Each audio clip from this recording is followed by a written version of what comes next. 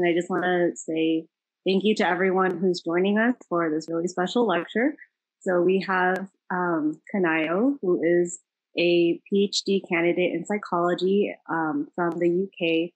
She's going to be talking about her experiences with Steven Johnson syndrome and how, um, you know, being a person of color did affect her treatment excited to have her because, um, you know, with the whole Black Lives movement going on right now, it's really important for us to talk about um, racism in healthcare and what we can do to improve that. So, with that, um, now you can take over.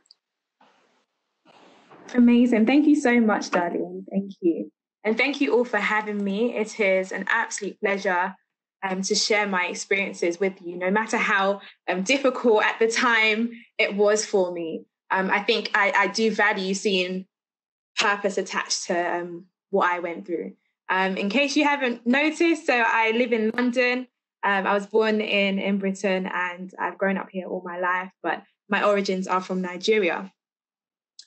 Um, I'm hoping you can all see my screen. I think I'm going to hide that. Amazing. Okay, so Steven Johnson syndrome from my perspective. So I've collated this PowerPoint, um, which really details images of my face um, from the onset of the Steven Johnson syndrome, which I experienced, right through to my recovery. And of course, you can see me now a year later. Um, and I did this in a hope to ensure that medical education considers people of color and considers the way diseases present themselves in people of color. And of course, I'm not a medical professional, so this isn't um, to lecture you on how to diagnose Steven Johnson syndrome, but it is to raise awareness that perhaps there'll be differences between Black and, and white um, in terms of the present, presentation of this um, disease. So, a bit of background um, knowledge on Steven Johnson syndrome, which I'm sure most of you already know. Um, for me, I had to do my research after this because it's such a rare um, disease, it's such a rare syndrome. So it affects one to two million, um, one in two people per million. Um, it's very, very rare. In the UK, the statistic that has been flying around is that one in three people can die from Steven Johnson syndrome. And in terms of its effect on the body, well, the understanding is that it affects the mucosal lining of our body. And it's quite, it can range in its severity. So I actually have a close friend of mine who she also suffered from Steven Johnson syndrome, but she had quite a severe case where she had to be put into a coma. Mine was not as severe, um, but it had the potential to get there had I not returned to um, A&E, which is our version of the emergency room on the third occasion. I reacted to a drug called carbamazepine. And carbamazepine was prescribed to me by my GP, which is just my, my personal doctor. And it was prescribed under the um, proviso that I had just had my wisdom teeth removed. And the understanding was that perhaps I was still experiencing nerve pain because ibuprofen and paracetamol weren't helping to address the pain that I experienced after that wisdom tooth removal. I was taking it and I've been taking it for three weeks. So between the 5th of August to the 24th of August. And I hadn't noticed any, you know, overt changes other than I started developing bumps on my tongue and also my legs looked a little bit scaly, but I didn't think too much of it. I also had a few dark spots pop up on my face, but nothing that was too concerning at the time. It's almost like when you when you notice a spot in your face, you're like, oh, you know, I, maybe I just put another concealer on it. Um, but by the 24th of August, things had changed. And it was my birthday on the 22nd of August. Um, and literally, after my 26th birthday, my body just started to disintegrate. And I'll show you some pictures of what I looked like before. So, all of these photos were taken in August. And then on the 25th of August, I woke up with a swollen face. Um, and I called um, our version of the just non emergency um, hotline. So it's 111 instead of 999 here in the UK. So I called them up, um, explained my symptoms, and they said, okay, go into the hospital. So I went to our local hospital, which is Croydon University Hospital here in the UK in London. And when they asked me, "Oh, have you recently started taking any medication?" I told them, "Yes, I've been taking carbamazepine." And I am an extra teacher. Like, I'm a teacher by profession. I'm an educator, and I work as head of psychology. I am so extra to the point that when I'm taking new medication, I keep a diary. So I had a diary on my phone. Okay, I've taken this dose. I've taken this. I've taken that. Um, and I showed it to the doctor who was in charge. Um, but there was no follow up as okay, potentially it could be this medication that you're having a reaction to. It was kind of dismissed, and I was given antihistamines um, to address my swollen face. The following day, I went back to Croydon University Hospital, and you can see that clearly my lips are now starting to look more tender underneath my eyes, I still have scarring to um, represent what was going underneath my eyes. Again, it was very tender, very painful to touch, and it was getting red. But perhaps it wasn't severe enough, or perhaps the practitioners who were at the hospital weren't trained during their med- medical education to look at the early onset of a potential drug reaction. So again, I was given antihistamines and um, steroids. The steroids I've noted it here. So um, prednisolone tablets to take for five days and chlorpheniramine for seven days. By this point, so we are literally now on day three of the external presentation of um, Stevens-Johnson syndrome. By this point, my eye started to develop a mucus-like, sticky-like um, liquid and it also reached a point where I could no longer swallow without feeling pain. So my mouth looked and felt like it had ulcerations all over. My tongue also looked and felt like it had ulcerations all over, but I haven't shown you ghastly pictures of my mouth or my tongue. Um, I went back to Croydon University Hospital. And as I mentioned, because my mouth was severely ulcerated, the doctor that I saw then also said, Oh, you've got tonsillitis. And then, of course, with the eyes as well, they say you've got conjunctivitis. But nothing was said to address the fact that there's been a drastic change in a short period of time. My lips now, if we quickly look at the previous slide, my lips have gone from this on the 25th, where they're still pretty much whole but swollen. And then by the 27th, I'm getting cracks. I'm getting, you know, purple pink like um, openings in my lip. And then also in my palms, my palms now became became very painful to touch. Um, and in later pictures, you will see what exactly was what was going on in my hands at the time. The following day, my lips clearly worse. This blister-like rash on my face, clearly worse. My eyes heavy, and my hands again, those red marks which were a little bit hard to see in the previous picture, they're now coming out and you can see that perhaps the capillaries in my palms had burst.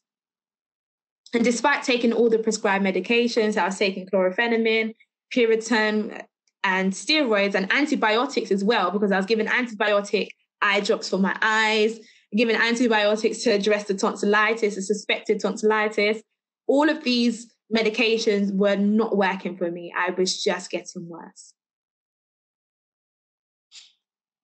on the same day, and this is by the evening, in the um, same day, my face had gotten worse. And then on my body, so I've just taken a picture of my arm here. On my body, you can see bump like marks, and it kind of resembled that of the only thing I can compare it to is when I had chickenpox as a child. And in the early hours of the morning, we called the paramedics this time around because I was struggling with breathing and struggling to swallow. And the paramedics, they came and they saw me. Um, they saw me in all my horror and glory. As you see my face here, this is exactly what they saw. As you see my hands here, this is exactly what they saw. Um, my entire body, that's exactly what they saw. And instead of rushing me to hospital, they gave me paracetamol. And I don't, I'm not a, a med, like I said, I'm not a medical um, practitioner. However, I know that paracetamol will do nothing for someone who is presenting symptoms as I was. But by this point, I, I was pretty much out of it. I think when you're in so much pain, you don't even, it's, it's tricky to think logically. The only thing that I was thinking of, and it sounds quite sad, but I'm grateful that I did at the time. The only thing that I was thinking of was I need to take pictures of what is happening to me in case I die. And it reached that point. and I guess I don't want anyone to ever reach that point where they feel like, oh, let me just record what's going on to me, just in case, so that there's evidence of of what's taken place. But this was my reality. I looked like this, and there was no urgency in terms of diagnosing me correctly. There was no urgency in getting me into hospital at that point. On the 29th, so we can see that literally from the 24th to the 29th, my face has just gotten worse and worse. Um, the rash on my hands is clearly visible. This is the full view of my face. You can see that my lips are not only crusted, but they're bleeding. They it literally felt like my lips were shedding and peeling away.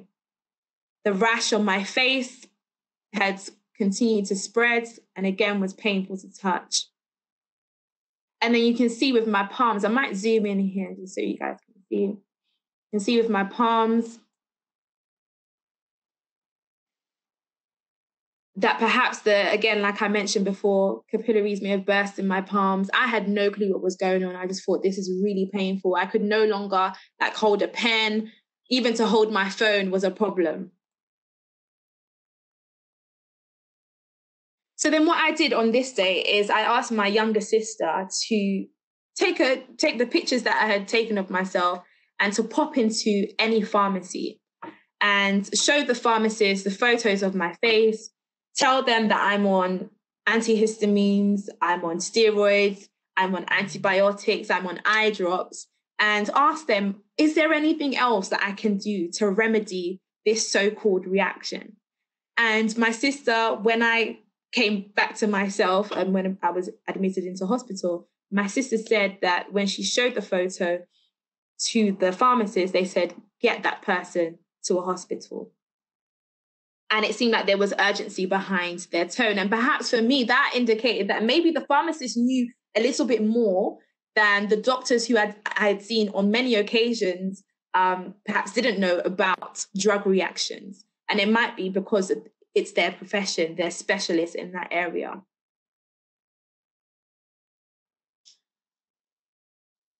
and just a few more photos, you can see that it even now looks like my lips were produced in pus. I'm so sorry for the graphic nature of these photos, but I know that you you medical um, students are, are you're into this and you you want to learn. So I appreciate you bearing with these ghastly photos. It does get better, I promise.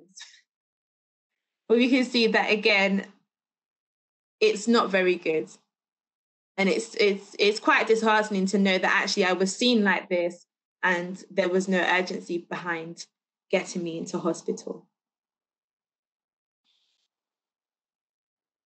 Okay.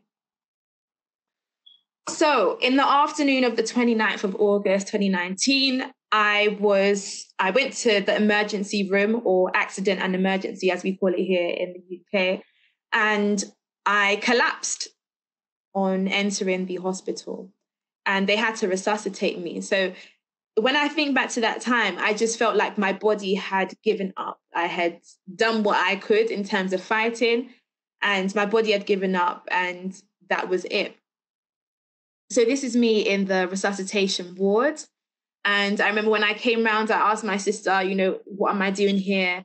Why am I in this hospital? I asked the nurse what, hos- what hospital it was. I just, I was totally out of it. And again, just to highlight what I was presenting in terms of symptoms, so you can see my face there. The lips are probably the worst part on display here. And then the crust around the eyes as well. I forgot to mention that it was very difficult to see. So my vision had blurred quite significantly. I couldn't drive at all. Not that I was planning to drive, anyways. And again, you can see my hands there, the palms of my hands. And even at this point, they weren't sure what was going on. You know, they had asked me, had I eaten something that I'd reacted to? And I just thought to myself, like, food would not do this to me. You know, food, I know, I do know that people who have severe reactions to nuts and so on But I said, I've never had a severe reaction to, to any food like this. This does not feel or look like a, a reaction to food. But what did I know?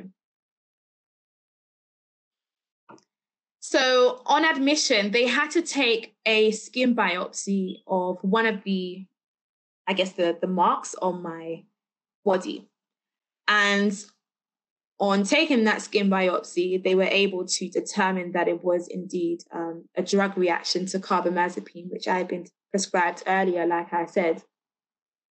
The interesting thing is that, again, one of my friends who was a pharmacist, when I sent her pictures of myself, this is by the time that I came round, she said, okay, it looks like you've got Steven Johnson syndrome, you know, double check it. And I thought, like, I've gone through so many channels so far. I've gone to the emergency room on three occasions and I was told tonsillitis, conjunctivitis, and so on. I had the paramedics come and they told me paracetamol. But twice now, pharmacists have been able to identify that this looks like a drug reaction. Why is it that my, my medical um, practitioners, who perhaps have that frontline duty of care, weren't able to identify it?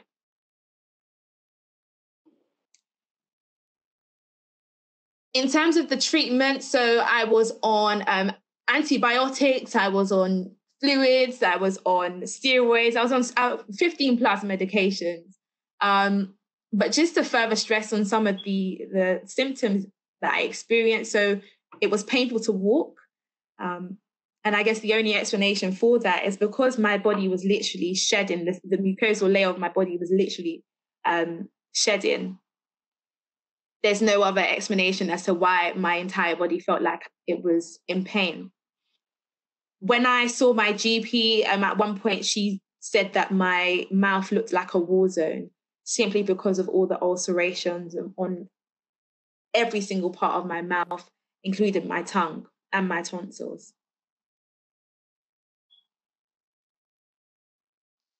Um, on the 1st of September last year, so I had to go to a specialist hospital um, for my eyes, as there were major concerns that um, potentially blindness was on on the horizon. Um this was you know this for me took it took my experience to another level because i'm someone that i've never gotten sick to this point. I'd never been admitted to hospital on any occasion. And like many of you studying i'm currently doing my doctorate and the only thing that was going through my mind is i need my eyes i need my eyes. And i said lord i know that there are people who are able to do it without their eyes, but I need them. Um, and I remember going for this appointment, and they were very, very concerned. Um, and again, I don't know the ins and outs of what Stephen Johnson does to the eyes. However, what I do know is that it was a very um, painful experience and quite frightening. But they did prescribe me steroid eye drops and lubricants to aid my recovery. And I'm happy to say now that my eyes are, are good.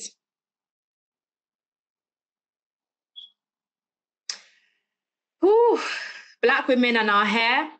My scalp was on fire all throughout my my ordeal. The scalp was on fire, and initially I couldn't put my finger on it. However, the dermatologist that looked after me, you'll see a photo of myself and the dermatologist.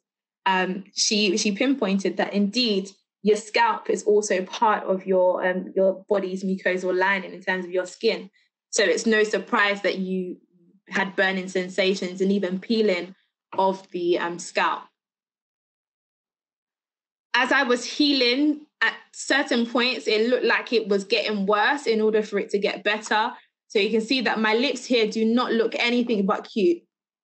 However, as the peeling was um, occurring, here I was able to squeeze out a little smile.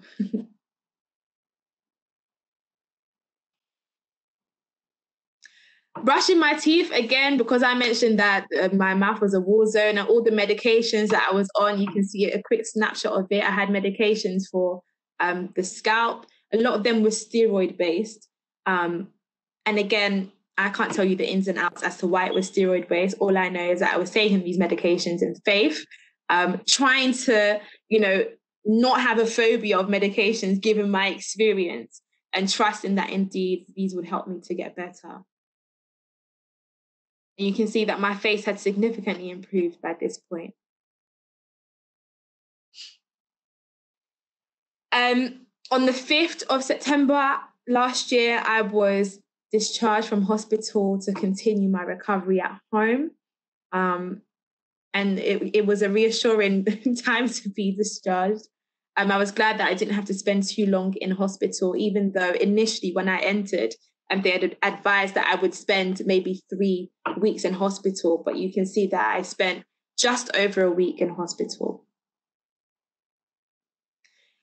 Um, at home, just continuing the use of the medication that was prescribed to me. I'll just quickly zoom in so that you can see what my lips looked like.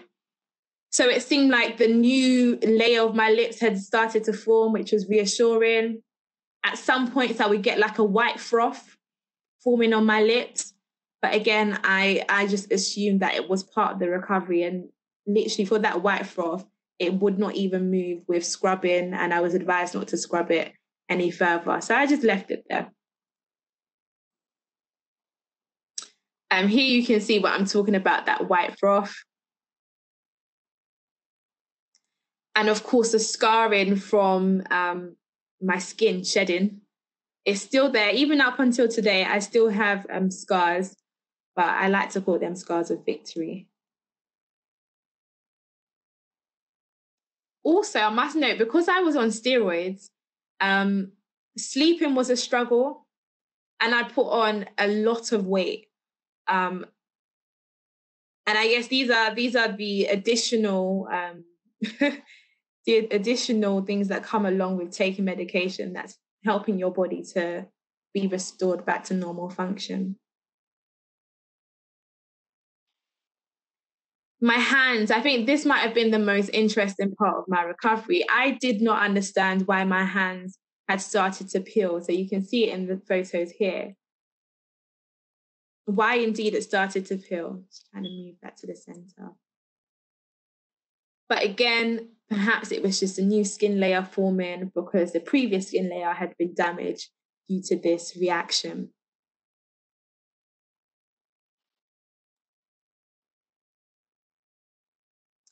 Okay, and just very, very quickly, so I've shown you photos of my experience um, during my time in hospital, but also my time recovering at home. And just to touch on some of the other um, consequences of Steven Johnson syndrome. So I mentioned that I indeed had to go to a specialist eye hospital because of the fear of visual impairment. And my vision had gone down to about 30%, according to them, um, even to the point where they had to inject my eyes. Skin scarring, mucosal scarring is a given, considering, considering the fact that the, um, the symptoms that I experienced were likened to um, burns but beyond that, there were some emotional and psychological consequences as well. So I did mention earlier that it did feel like I perhaps had developed some sort of fear for medication. Even now, you know, you wouldn't catch me taking um, anything that, that's prescribed unless I have the reassurance that um, that medication will not do what Stephen Johnson, um, what carbamazepine did to me in terms of giving me Stephen Johnson syndrome. And then, very quickly, on systemic racism in healthcare. So, this is something that I shared on Instagram and I shared it on Twitter. Um, and there was another lady in the UK who had Steven Johnson syndrome. But on presenting symptoms, and even when I spoke to um, medical practitioners, they said on, on her presenting just the first day of symptoms, she was rushed to hospital. But for me, there were countless opportunities for Steven Johnson syndrome to be identified and addressed much earlier, which would have, you know, circumvented the horrific experience and the rapid development of symptoms which I experienced. We could see that literally between the 24th of August and the 29th, when I was admitted, my symptoms had rapidly developed. But why is it that my symptoms were only taken seriously when I collapsed and was resuscitated? Why did it take for my sister to show my face to a pharmacist, despite the fact that I've been to many points of medical care, such as hospital on three occasions? Paramedics have come to see me. Why weren't they able to identify my symptoms or recognize that indeed it was a serious matter? And this is where I say that medical education can no longer treat the study of the presentation of diseases on Black people or people of color as extracurricular. You know, that suggests that perhaps white is the norm and white is, is the standard, and anything outside of it is abnormal. But actually, a medical education should be inclusive of all because we're looking, we're studying to look after human beings before any color. And I looked at the book which um, British dermatologists use in their training here. And I'm not too sure what textbooks you guys use closely um, in your institution. But in this book, and I'm happy to share the link to the video where I've gone through it, but it won't play here. Um, in the book, there is not one single picture of what any skin like disease looks like on dark skin. You will not find a single picture. All the photos in there were of white skin. And their slogan, this is the British Association of Dermatology, their slogan is healthy skin for all. But actually, healthy skin for all becomes healthy skin for some when your textbook does not even include what perhaps eczema will look like on a, on a black person versus a white person. And unfortunately, what that does is it means that for the black person, because the presentation of the disease is not in the textbook, whether the medics have been trained using that textbook, it means that there's a delay on their accurate di- diagnosis. There's no urgency. And then, of course, we have the knock on effect of, okay, yeah, Black people are more likely to die. Black people are more, you know, likely to receive delayed treatment. And perhaps I don't believe that in creating this resource, in creating this textbook, that they intentionally said we're going to exclude Black people. I don't believe that's the case.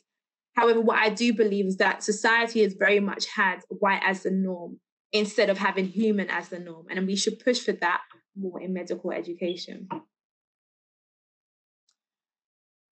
I sent out a tweet saying that perhaps the symptoms that I presented did not look serious. And it didn't look serious because it didn't fit the norm.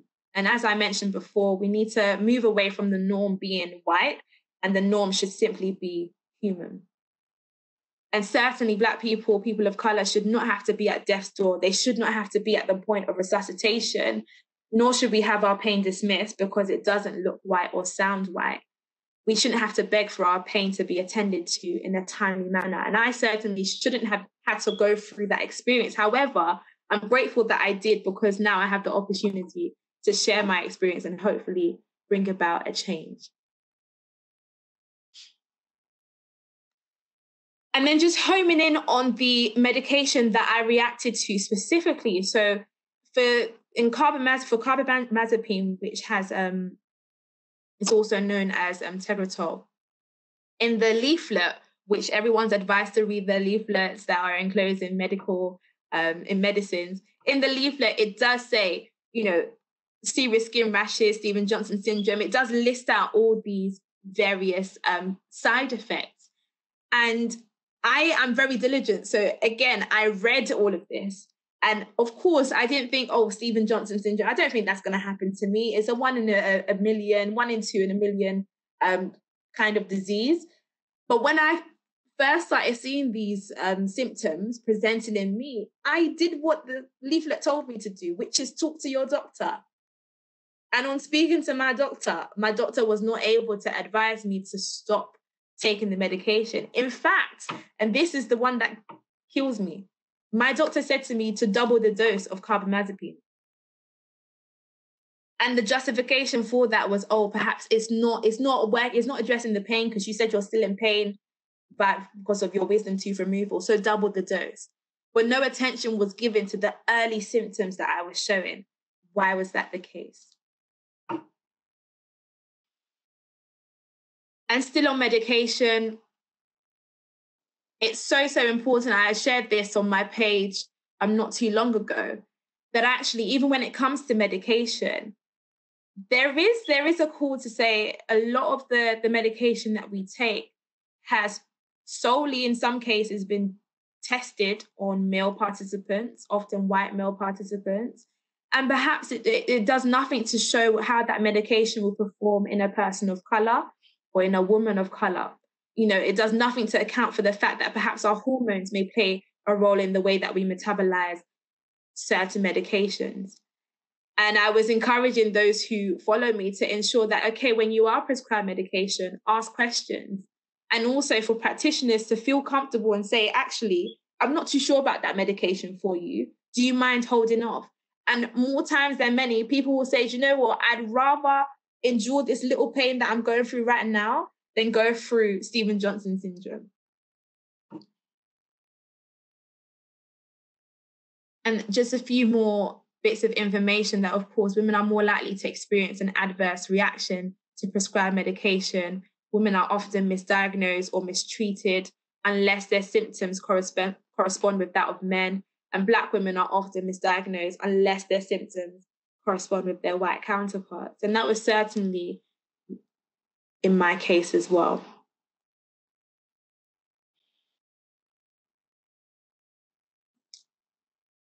And then, of course, like you see me now, I'm very jovial. I'm very happy to speak about my experience. But it's not to say that I don't have emotional scars as a result of being um, experiencing Stephen Johnson syndrome. But I say this to say that even though I have, you know, the emotional scars, and even though sometimes when I do look at the photos, I get emotional and I think, oh, I can't believe that happened to me.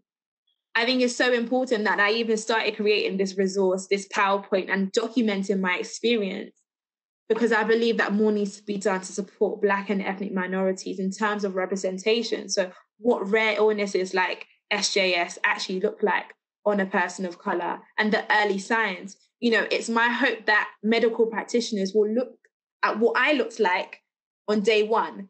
And should a person of color present similar symptoms to what I look like in day one, that person will never have to go to what I look like on day five. You know? We also need to push for a timely and accurate diagnosis, and we need to push for personalized care. Something that my GP who prescribed me carbamazepine initially said was that, oh, she had prescribed to so many people before, and there's been no problem. And I think because of the, you know, the economic pressure on time and even on resources, perhaps medics do feel like they have to rush through um, their diagnosis of, of patients. And perhaps there is a lack of personalized care. Perhaps there is this idea that, oh, if it's worked for so many, it will definitely work for you. But actually, perhaps we need to do more to ensure that people are feeling like their pain, their specific needs are being attended to and not just being compared to others. This is my fantastic dermatologist who looked after me in hospital. And I put this slide here to really encourage you all as you are um, obviously studying in the in the medical field. I don't know whether some of you might already be doctors, some of you are aspiring to be doctors, just to encourage you that your work does not go unnoticed. And indeed, the work that you put in now and the study that you're putting in now is going to be a source of healing for so many people and just to encourage you to keep on doing what you're doing just like dr kavita looked after me with her specialist um, knowledge of Stephen Johnson syndrome, I know that you guys will go ahead and do the same for your patients. And then my last slide.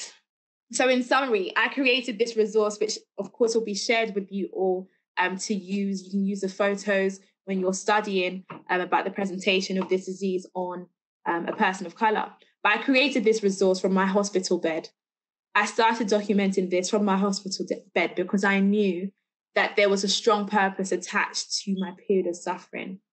And what I need is I need for medical practitioners and educators and aspiring medics like yourself to join me in championing a purposeful change in the treatment of Black patients. And I truly, truly believe that the way that we respond to things, the, re- way we respond to certain situations, will be a lesson for others who look up to us. So that's me. I really do hope that this presentation was valuable. And I know that Darlene will share it with you all. And I do hope that you have been encouraged in the process. I'm happy to take any questions at this point. I'm going to open up um, chat area. Hi, I have a question. I am curious is the, and you may not be able to answer this, but is the use of carbamazepine typical for acute pain in the UK? Because it's not in the US. Mm. Very, very good question. Do you know that every pharmacist that I'd spoken to, um, who said, "Oh, what what did you react to?" And I said carbamazepine. They said, "Why were you prescribed that?" Because they said that my GP had jumped too far to prescribe me carbamazepine for what she suspected was nerve pain. When actually, even up to this day, I haven't had this um, anything done to this wisdom tooth that was causing me pain. Up to this day, I'm not feeling any pain. So you're right in saying that perhaps carbamazepine wasn't the right drug um, to have been prescribed to me.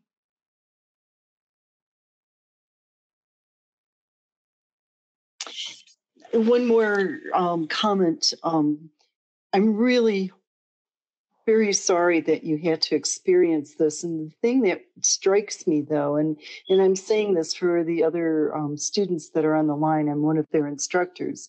What mm. bothers me is that they did not take your complaint of shortness of breath seriously when you first presented. And that is just like, oh my goodness, how could they have missed that?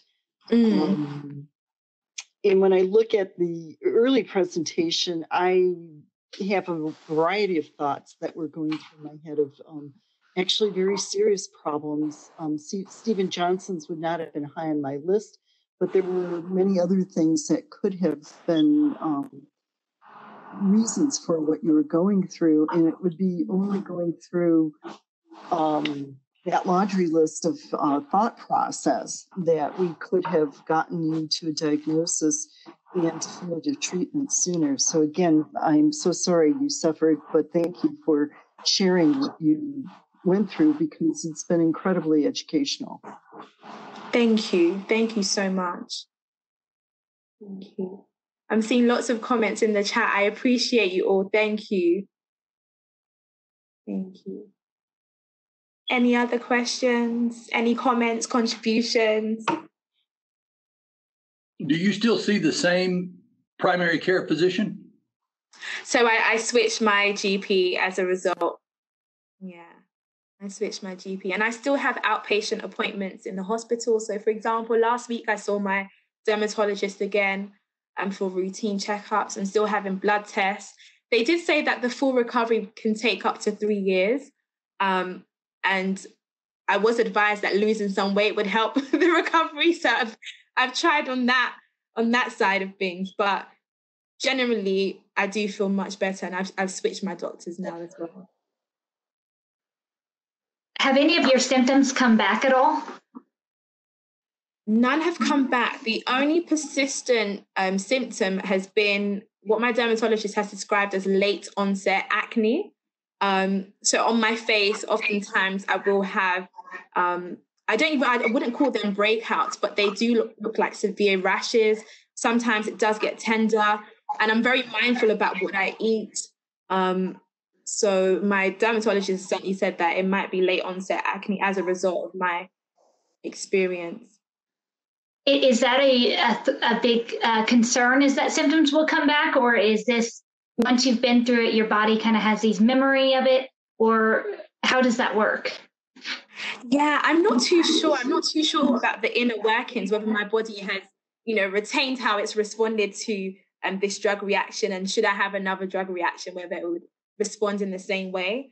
Um, yeah, I guess the main thing now is avoidance.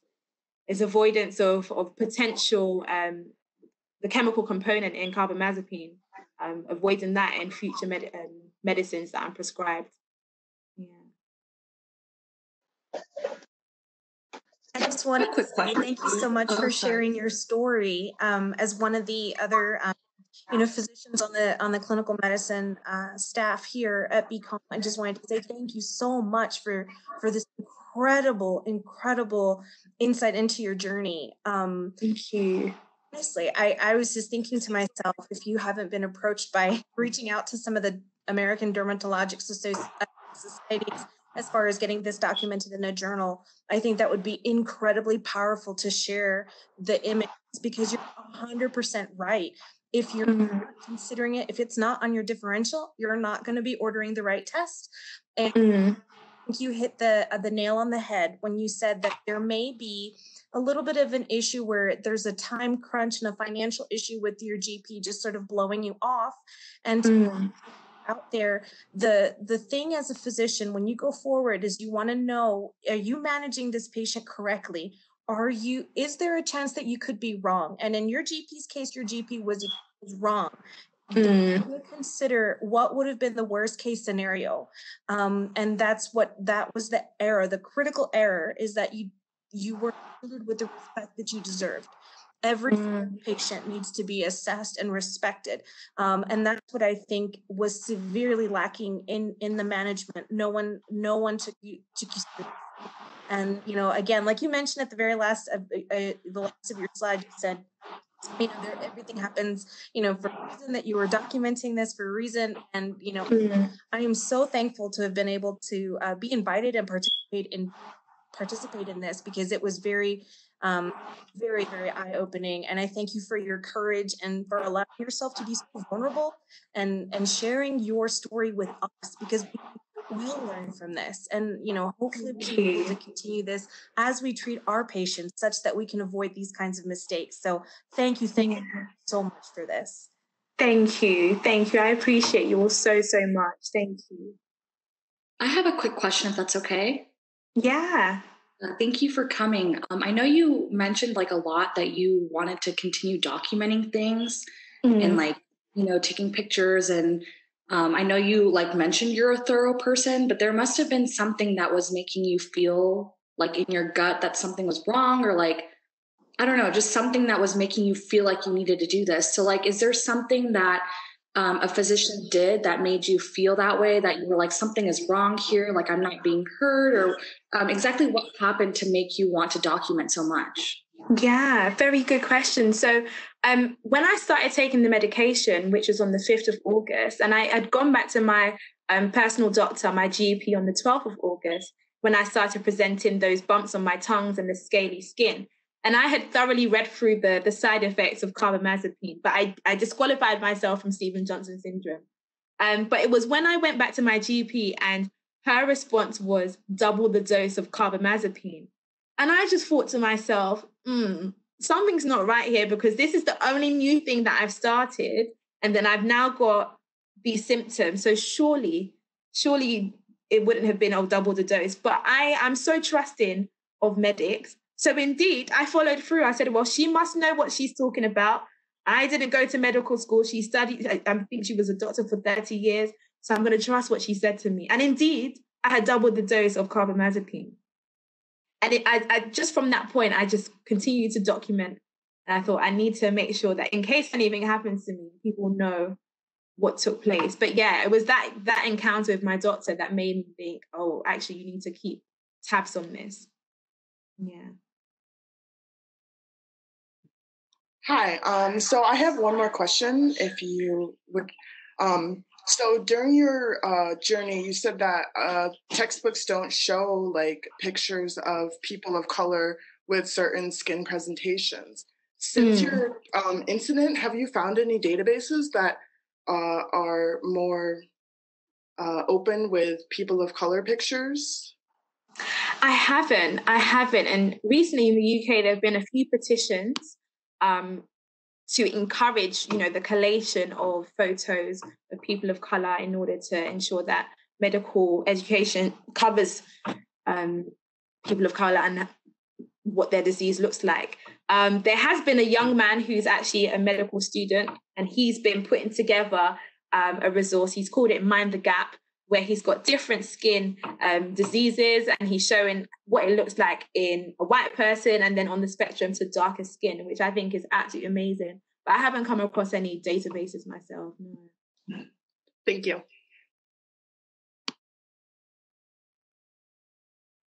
Any other questions or comments?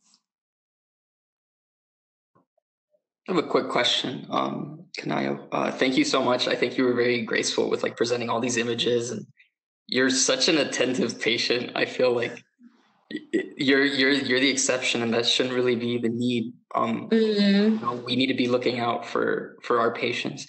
But I think um, something that we've been exposed to recently was like uh, pain scales and how like women in general are not taken as seriously in terms of like their uh, pain reporting how did you mm. feel pain was kind of, you described eye pain, your hand pain, then your scalp pain. Like you mentioned you couldn't walk, but you were really experiencing this full body, uh, mm-hmm. this general pain. Um, were there any instances where you felt like, uh, I guess more than others, pain was not really received or properly on their end when when they were documenting or whatnot? Or can you talk a little about that? Yeah, absolutely. I did feel like my pain had been um, dismissed. I mean, at one point when I had gone to hospital for the second time, I was told sometimes it gets worse to get better. And I latched onto that. I thought to myself, okay, like maybe indeed it it has to get worse. It has to get to a dire state before it gets better. Um, but it shouldn't have that comment shouldn't have been shared with me. You know, it should have been, okay, this is what you're experiencing now, and we're going to do everything that we can to ensure that you are relieved from this pain. And I think also on the flip side, not so much uh, the fault of the medics, but also in, in terms of like a personal self concept. As a Black woman, there is that, you know, you feel that need to, oh, I need to be strong. I can fight this. I can do this. You know, I've I've been strong before, so I can do it again. But actually, we need to release that whole, you know, strong Black woman trope. And when we are in pain, we need to say, okay, this is how it's. I feel like I'm about to die, but I didn't use those words. I knew I was feeling it, but I thought, oh, I'm not going to say it because I need to be strong. You know, so I think it's it's a you know two sided coin. Another thing, yeah. Oh yeah. God. Thank you for touching upon that. Yeah. Thank you. Any other questions or comments? Lovely to hear from so many of you. Um, there's a question for you in the chat. It says, what, oh. What else should we as medical students do to make sure we get a well rounded education that is all inclusive in spite of the current education system? Oh, really, really good question. I think what medical students could do is let's say for example you're studying a particular disease and you notice that you've only got data that um, fits the typical norm which is perhaps white male try your best to seek out for research that covers um, i guess the hidden the invisible data and where the, the data doesn't exist then we need more medical practitioners or medical researchers who are willing to research on those groups who perhaps are hidden. Um, and then medical students can use the data as part of their learning. Yeah. Thank you. Oh, amazing. I hope I answered the question okay. Any other questions or comments?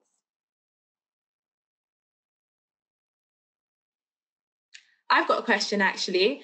Do you think that the resource, the resource that I've created, do you think that it will be useful in terms of um, medical education? And are there perhaps, let's say, if I was to document it again, are there areas that you think, oh, I would like to know a little bit more about your experience with a particular, I, I don't know, symptom, anything like that? I can kind of answer that. Um, I think as medical students, like we're very curious, um, like also on the science part of things. And mm-hmm. it seems like you have a really good relationship with your dermatologist. So it would be really neat if actually you both could like come and maybe, you know, she could talk about what she picked up, um, like regarding, you know, your diagnosis and things like that and how she was able to essentially like help you in that situation and how you were you know able to work together because i think mm-hmm. on our side we want to we want to make sure we're asking the right questions but we're also asking them the right way like a lot of um, mm-hmm. um, people don't ask their questions in a respectful manner or in a way that you know makes your patient feel comfortable mm. that's i'll send her an email to find out if she's up for it but she is amazing honestly and that's why i really do encourage all of you like as you're you've allowed me to share and you've been so attentive and been so kind. So, like, I just know that this is the birthing of incredible medical practitioners who will change the world and, like I said, be a source of healing for so many. I would actually recommend, uh, sort of along that same vein, is to reach out to that dermatologist and see if you can actually publish a paper. Um, mm. In order to reach, I mean, again, working with her um, maybe you can get it published and share such that you know your um, because you've done a beautiful job as far as the pictures and as well progression. I think that's something incredibly valuable because mm-hmm. be um, introduced to a patient's care maybe in in the beginning or we might be introduced to them seven days later.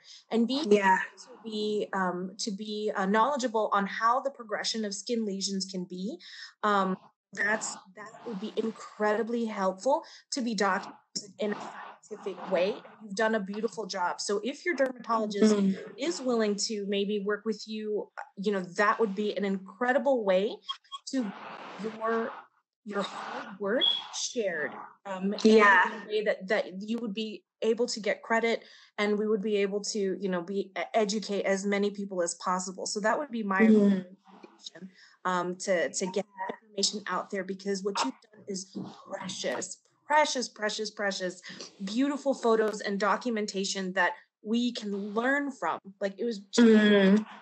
so uh, that would be my my recommendation if you can Amazing if you feel like. Oh, thank you so much. Yeah, no, you've given me a practical thing to do there. Yeah, absolutely. Thank you so much. You had also mentioned that you had like lesions in your mouth and sores.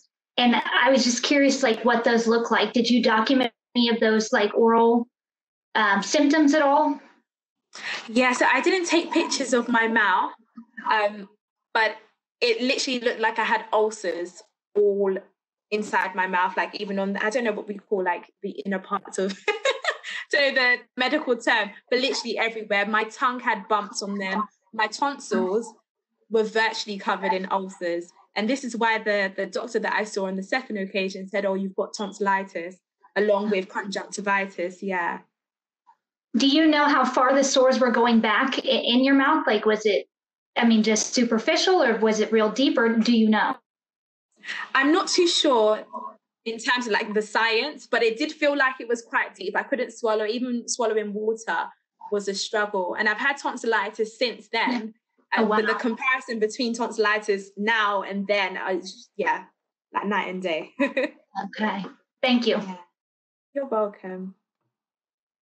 No, I'm I think all the comments. Club members are here, but um, yeah, we have labs as Darlene's mentioned. Thank you so much. Um, for sharing this. This is the part of I'm very optimistic about personalized medicine and, and us being able to um, address this. And yeah, education is the first step on our end, and it takes people like you to to do this. So thank you so much. Thank you everyone for attending. Um, thank you guys. Thanks again. And thank you so much for your presentation. It was it was lovely. Thank you so much, Ryan. Thank you. Thanks, guys. Cool. I think we are done. Bye. Take care, everybody. Bye. what an absolute honor and privilege to share with these medical students all the way in New Mexico while I'm here in London. 91 in total joined the lecture, and it is such a blessing to have been kept alive for such a time as this. If there are any other medical practitioners or universities that wish for me to provide a guest lecture, that is something that I'm totally up for, as long as we are all championing this great cause of ensuring that medical health, medical education is inclusive of all. Um, I do hope that you enjoyed the lecture, and if you have any other questions, you can contact me via drkanayo.com. And if you wish to have these slides for the purposes of teaching, please again get in contact with me via drkanayo.com. God bless you all. Take care.